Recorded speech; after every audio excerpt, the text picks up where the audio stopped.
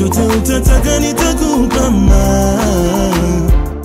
guys, welcome back to our channel. It's Fanny Lungu back with another reaction video. If you're new to this channel, make sure to give this video a thumbs up, share it with your friends, and of course, do not forget to subscribe. Like I said, my name is Fanny Lungu, and on this channel, we post reaction videos each and every day. So if there's something that you guys want us to react to, let us know by dropping the link in the comment section below, and we'll do it for you. You can check out our second YouTube channel called Fanny and Jessy 2.0. We post weekly content. You guys can hit there, subscribe, and enjoy the content that we're putting out.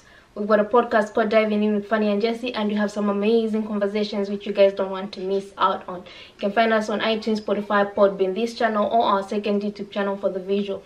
And lastly, we've got a Patreon. You guys can feel free to become members, and we'll appreciate a big shout out to everyone that has subscribed to our channel so far.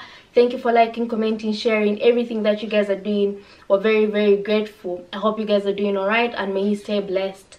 So today we're going to be reacting to Are Women Allowed to Work in Islam?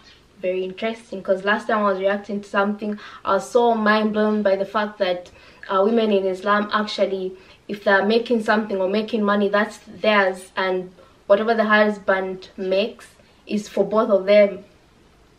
I was awed by that factor um I don't know what this video is about but I'm always excited to see what I'm taking from videos that I react to. So without wasting time, a big shout out to the person that suggested this. Without wasting time, let's get into the video. Does Islam allow women to work? Yes, it does. Really? So Muslim women are not degraded and oppressed as many think? No, not at all.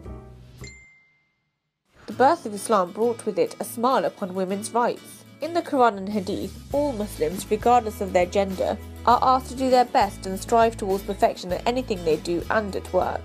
In Islam, there have always been prominent women assuming positions of influence and within the working environments.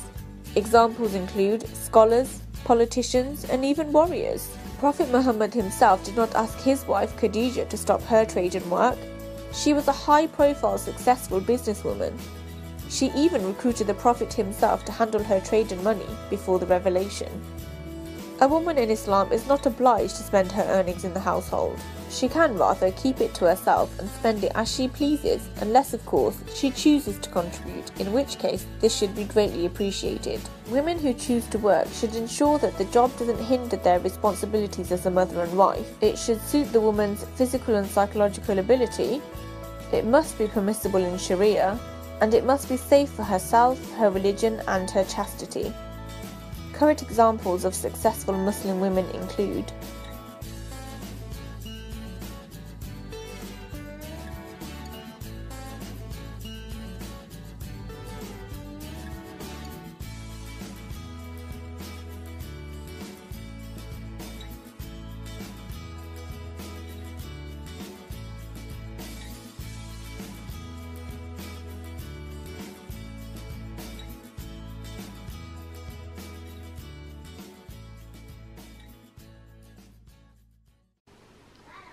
this is a great video. I always support um, movements that support women and i'm just glad this is out there. I i, think at some point i thought that um very ignorant i know but i thought that um i thought that women in islam just went to school for the sake of going to school to pass time. I didn't think this was even possible. It's actually something that i've actually never thought of.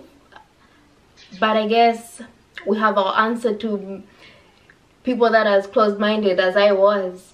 And this was something that I enjoyed watching. So many people so different positions. Very very interesting. And a big shout out to the person that suggested this. If there's something like this that you guys want us to react to feel free to feel free to leave the link in the comment section below and we'll do it for you and I'll see you in my next reaction video